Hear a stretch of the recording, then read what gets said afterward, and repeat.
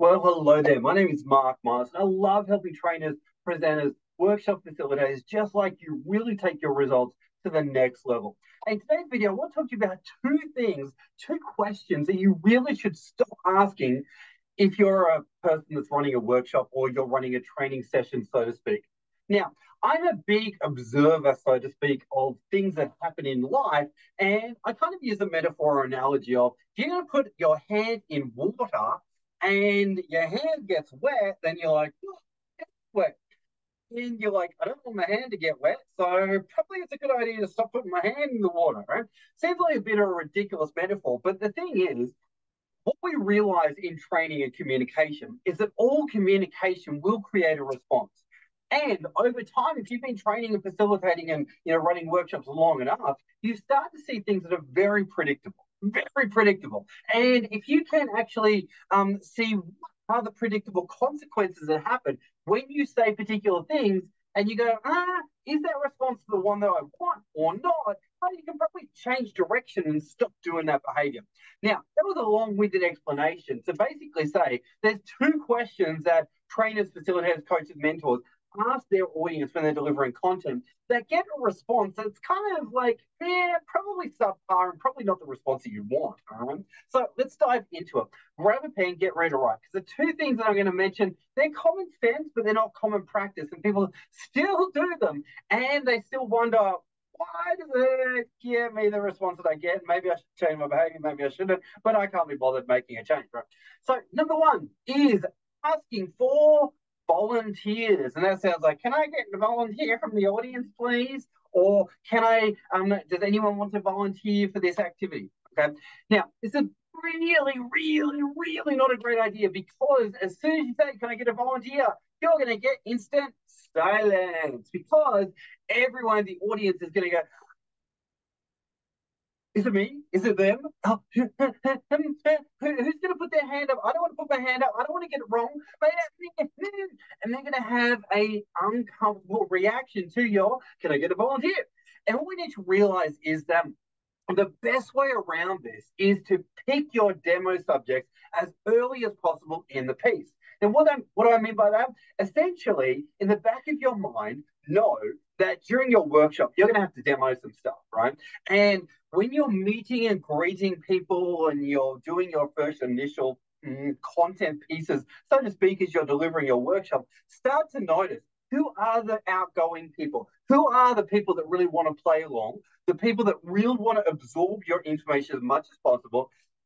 The people that you're going to ask to volunteer. Because if you pick it right, they are the people that are going to relish the opportunity to be up on stage and working with you. All right, guaranteed that they are going to relish the opportunity.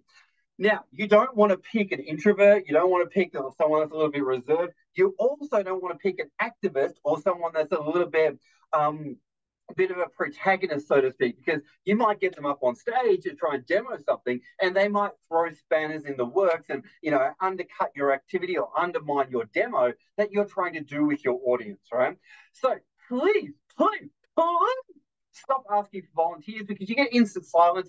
Better way to handle it is pick your demo subjects beforehand and you say, Tim, could you come and join me on stage and we're just going to work together. I'm going to demo something and everyone would like you to pay attention as I work with Tim up here or, you know, Tom or whoever it may be, but pre-select who you're going to demo your content with, so to speak, right?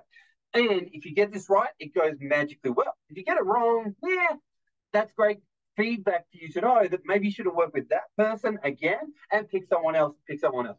But predetermine who you're going to work with for your demo subjects. One of the best things I've ever learned from my public speaking coach. Next thing, next thing, pull, pull, pull. Stop asking this question. Now, this question is Does anyone have any questions? Does anyone have any questions? All right. Instantly, again, another moment of silence. You're going to get silence when you ask that question. There's a number of ways that you can handle that instead. And some of the um, ways that you can handle it are the following. Number one, you can presuppose the questions and you can say something like, at this point, some of the questions I typically get are this, this, this, and this, and this. And so let's address those questions right now. And you can actually um, address the typical questions that come up. Next one that you can do is you can actually say to your audience, okay, cool. Based on what I've just shared with you, go ahead and ask me one question that comes to mind as you've heard that content and write it down. And then we're going to hear questions from the audience. So you can actually give them time to think of a question and you can actually give them time to process, create, and they're going to end up creating better quality questions. Now, the other thing that you can do is certainly say, okay, we've just covered a bunch of content. And if you do have any questions at all, I'll be around after the segment and you can come up and see me and happy to work through any questions, concerns, or queries that you may have as to how you may be able to apply this particular content in your particular context. All right. But you need to realize as soon as you say, Does anyone have any questions? You're going to get instant silence. All right. So it's probably not the best thing to ask. You may want to say, All right, um, what questions do you have, or what two questions you have, or what's one question that you have that gives time to write. However, you want to play it. But be aware, as soon as you say, Does anyone have any questions? You're going to get silence. So, my biggest piece of advice to all presenters and trainers just don't ask the question in that manner.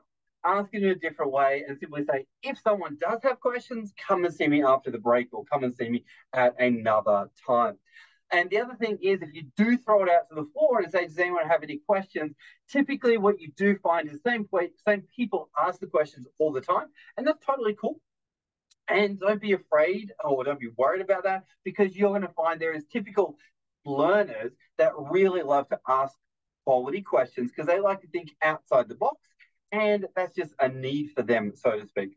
So don't ask does anyone have any questions? Instead, say, what questions do you have? Or if you do have any questions, come and see me after the break. All right. So on that note, asking, can I get a volunteer? And still asking, does anyone have any questions? On that note, Let's get a like, comment, subscribe, and let's get this message out there, folks. Thanks so much for watching and um, following along with this channel. It's a great pleasure and honor, and I love sharing these insights with you. I hope you gain some value from it. If you are, don't forget to drop a comment in the chat box um, or in the comments box there. Love hearing from you, and thank you so much for following along with this channel. On that note, we'll see you on the next one.